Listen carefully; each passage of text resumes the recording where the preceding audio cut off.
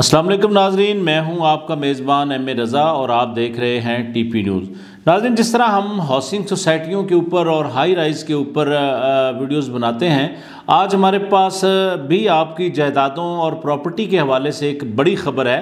تو اس سے پہلے کہ ہم خبر کی تفصیل کی طرف جائیں، آپ چینل کو لازم سبسکرائب کیجیے اور بیل آئیکن کو بھی دبائیے۔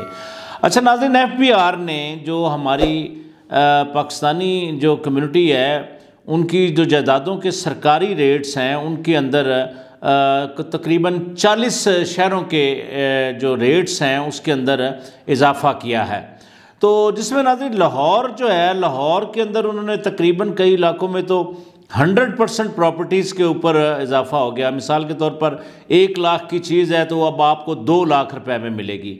اچھا کچھ ہمارے پاس نا اس کی اسلام آباد کے حوالے سے جو اسلام آباد میں چونکہ یارڈ چلتے ہیں، جن شہروں کے اندر مرلے کاؤنٹ ہوتے ہیں، ان کی تفصیل بھی ہے۔ اس میں تقریباً یہ سمجھ لیں کہ چھوٹے بڑے شہر ڈال کے تقریباً چالیس سٹی ایسی ہیں۔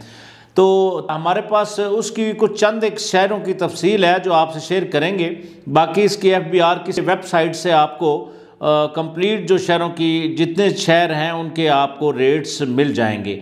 تو ناظرین، اسلام آباد کے اندر فلیٹس کے لیے اور ریزیڈنشل ایریا ہے یا کوئی کمرشل ایریا ہے، اس کے اندر ساڑھے تین لاکھ روپیہ پر مربع گز کے حساب سے اس کو، اس ان ریٹس کو انکریز کیا گیا۔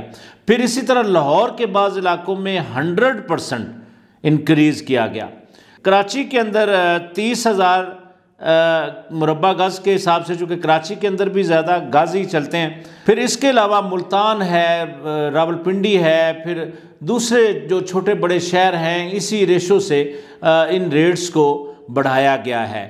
تو ظاہری بات ہے ایف بی آر نے جتنے ریٹ اس کے اب بڑھانے کا، اب اس کی کچھ لوگ تو سمجھ سکتے ہیں یہ سارا پروگرام، لیکن کچھ لوگوں کے لیے، آسانی کے لیے میں سادہ لفظوں میں بتاتا ہوں کہ جتنی آپ کی جائیداد ہے اس کے جو ریٹس چل رہے تھے، ان ریٹس کو سرکاری سطح پر بڑھا دیا گیا ایف بی آر کی طرف سے، جو فیڈرل بورڈ آف ریونیو ہمارا جو ٹیکس کلیکٹ کرنے والا ادارہ ہے، یہ ان کی طرف سے یہ ریٹس بڑھائے گئے ہیں۔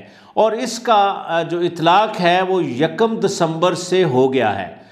تو اس میں یہ ہے کہ ظاہری بات ہے گورنمنٹ نے جس طریقے سے ہم قرضے کے بوجھ تلے دبتے جا رہے ہیں، جو ٹیکس کلیکٹ کرنے والے ادارے ہیں، وہ بھی متحرک ہوئے ہیں۔ تو چونکہ یہ بہت اچھی بات ہے ٹیکس دینا چاہیے، اس سے نہ صرف ملک کے ریونیو کے اندر اضافہ ہوتا ہے، بلکہ جو بیرونی قرضے ہم، ہمارے اوپر ہم بیرونی قرضوں کے بوجھ تلے دبتے جا رہے ہیں، اس میں بھی کافی ساری آسانیاں پیدا ہوتی ہیں۔ تو یہ تھی ناظرین آپ کی جائیدادوں کے متعلق ہمارے پاس ایک اپڈیٹ جو ہم نے آپ کو بریف کی۔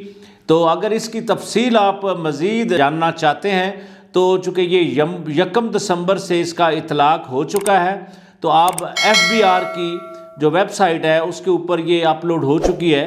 تو اس میں آپ اس کو اچھی طرح پڑھ سکتے ہیں کہ کن شہروں میں کتنے کتنے ریٹس اس کے انکریز ہوئے۔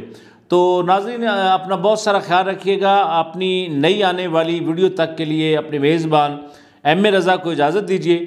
اللہ حافظ۔